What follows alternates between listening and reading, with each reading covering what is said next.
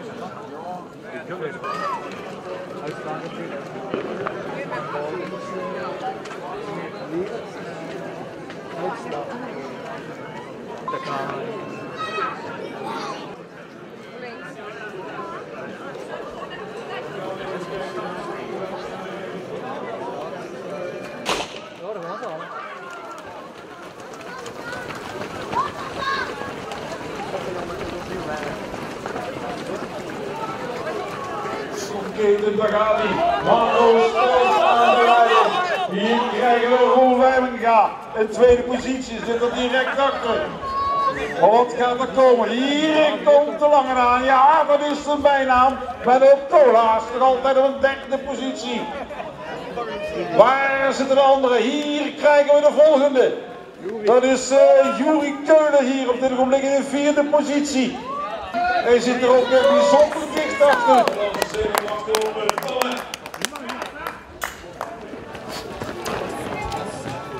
Sylvesterloop 2018. En we zijn natuurlijk nu bezig, dames en heren, aan uh, die geweldige Anytime Fitness run van 10 kilometer. 10 kilometer wat uh, de mannen en de vrouwen hier uit het rankenlichaam gaan halen.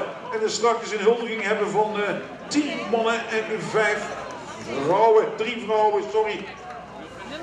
En natuurlijk ook die prachtige mannen. Hier komen ze aanlopen. We hebben er nog twee. We hebben er nog twee. Roel en Marco aan de leiding. En hier komt er nummer 3 voorbij gelopen. Dat is uh, Menno Cola, zijn derde positie. Een super ronde. Laatste ronde, laatste ronde. 26, 29. Kom op hè. Die willen die tijd realiseren die ze voor ogen hebben gehouden. Ja, en kijk eens even, zet hem op. Zo moet dat. En we zeggen altijd wel eens, een opgeven is geen missie. Daar komt de motor. En wie zit daar dan achter? Hier zou het Rijming gaan zijn. Zou hij toch die jump gemaakt hebben? We gaan kijken. Deze 37e editie van de regiobank Sylvesterloop Elslo werd na een wederom zeer spannend wedstrijdverloop gewonnen door Marco van der Stel in 30 minuten en 45 seconden. Na eerdere podiumplaatsen stond Marco nu op het hoogste treedje. En zo bleef die favoriet Roel Wijminga 9 seconden voor. Roel had 30 minuten en 54 seconden nodig. Na een snelle start finishte Menno Koolhaas in 31-19 en complimenteerde hij met een derde plaats het podium. De overige ereplaatsen waren voor Juri Keulen een oud, uh, en oud-winnaar Patrick Stitsinger, die 4 en 5 werden. Op ingefluisterd hier bij de eerste 4-3 triatleten. Ja, goed, dan weet je al uh, hoe het allemaal in elkaar zit. Het is fantastisch gelopen hier vanavond. Scherpe tijden. Dat 35-33 is. En ik kijk hier op mijn lijstje. Dan zou dat bij de dames wel kunnen betekenen dat we een nieuw record hebben. Het parcoursrecord op de 10 kilometer bij de dames, dat werd deze keer eens verbeterd. En dat werd verbeterd door Leonie Balter uit Woensbroek. Het record maakte ze 5 seconden scherper. Het is niet veel, maar het is wat. 35 minuten 32 seconden. Leonie die liep op uh, soevereine wijze van kop af naar de overwinning. Op de tweede plek eindigde Alice Jacobs uit Oorsbeek in 36-49. En Danne Boterenbloem uit Maastricht die complementeerde met een derde plek. Tekenend was het feit dat er maar liefst vijf dames onder de grens van 40 minuten liepen. En dat is heel wat. Alice Jacobs. En de winnares, dames en heren, van vandaag bij de vrouwen 10 kilometer. Met een nieuwe recordtijd. 35 minuten en 32 seconden. 5 seconden sneller dan het oude record. Leonie Panter! Jongen, gefeliciteerd.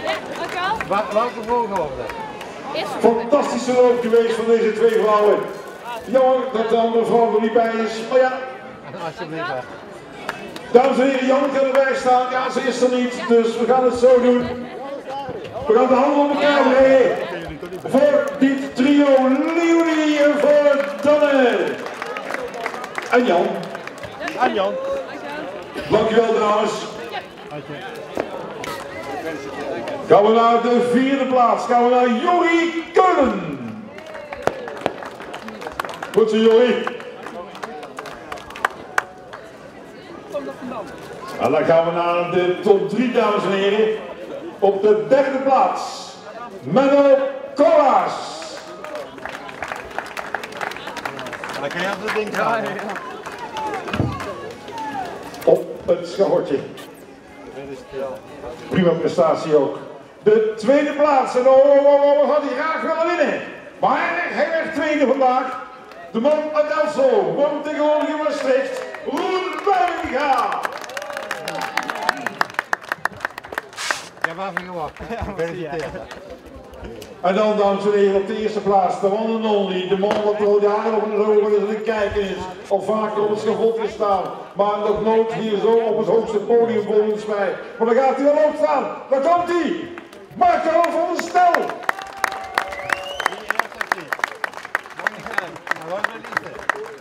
Bloemen, hè? Gefeliciteerd, dankjewel. Alsjeblieft. Eh, eigenlijk eh, drie winnaars hier voor me staan, maar eh, moeten zeggen natuurlijk twee winnaars van Buitensteinse. En ja, eentje die is naar Maastricht gevlucht, had ik gehoord, vanuit Elslo. Maar dan beginnen we toch maar met de dames, want natuurlijk met vijf seconden een baanrecord verbreken, dat is toch een heel mooi resultaat hier op Oudjaarsavond. Ja, een mooie afsluiting van het jaar. Ja, En natuurlijk hoef ik niet te vragen of je even tevreden bent over je tijd, want ik denk dat dat natuurlijk wel dik in orde is. Ja dus een PR van 5 seconden geloof ik. Dus eh, ja, dan mag je niet klagen toch? Dus een baanrecord en ook nog een eh, eigen persoonlijke tijd van eh 5 seconden Ja, verbeterd. ja. klopt. Ja. Dat is helemaal mooi. Ja. En eh, ook bij de heren gefeliciteerd natuurlijk eh, Marco met eh, het eh, behalen van de overwinning hier in eh Elslo. En eh, dat eh, bij de 37e Silvesterloop. Ook eh, tevreden over de tijd, eh, dik onder de 31 eh, minu- eh, minuten.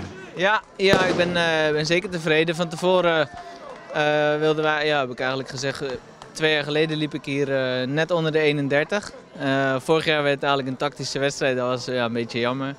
Dus dit jaar heb ik bij mezelf voorgenomen, ja, ik ga gewoon lopen wat ik wil lopen. En ja, als ik dan alleen kom te zitten, kom ik alleen. En ja, ik hoop, je hoopt natuurlijk dat, dat je met een paar man loopt, dat je nog elkaar wat, wat kan opnaaien. Maar ja, ik was eigenlijk al, ik denk na, na drie of vier rondes al alleen. En heb ik ja, gelukkig eigenlijk eh, het tempo heel strak kunnen houden en eh, mooi PR kunnen lopen. Nou, hier volgens de commentator hier in de wagen was er met het ingaan van de laatste ronde toch nog wel een eh, kleine uitzicht op een, eh, toch nog een baanrecord ook bij de heren. Oh echt? Nee, die hebben toch eh, onder de 30 minuten gelopen. Dat was het dik onder de 30 minuten. Ja, dus dan, ja, dan was hij iets te enthousiast in zijn Ja. commentaar, denk ik. en Roel, ook eh, wel tevreden denk ik eh, met de tweede plek. Ja, maar natuurlijk eh, als oud inwoner van Elslo had je natuurlijk eh, liever de overwinning weggehaald, neem ik. Nee, ja, ik ben ontevreden over mijn tweede plek, dat, dat zeker. Maar nee, ik ben tevreden over, over die tijd hoor. Eh, aanvankelijk dacht ik van, ik wist dat ik dit ongeveer kon lopen nu. Ik denk van ja, dat ik ging ervan uit dat het wel genoeg zou zijn voor de eerste plek. Maar ja, Marco was gewoon zo sterk. Die heeft me gewoon op waarde geklopt. Dus ja, daar moet je vrede mee hebben. Ja, dus hij was gewoon eh, veel te sterk eigenlijk eh, in, eh, in, in deze wedstrijd. Ja, hij, li- hij liep zo hard. Ik moest op een gegeven moment na drie, vier ronden inderdaad lossen. En dat gat bleef wel gelijk. Achteraf denk ik dat het jammer is dat we elkaar daar al kwijt waren. Had er misschien nog wel een snellere tijd in, in gezeten. Maar nee, ja, ik, eh, dit was voor mij het hoogst haalbare vandaag. Oké, bedankt jullie eh, voor de medewerking. Allemaal een eh, goed en gelukkig nieuw jaar en natuurlijk eh, een heel sportief eh, 2019 gewenst aan alle drie. Ja. Dankjewel.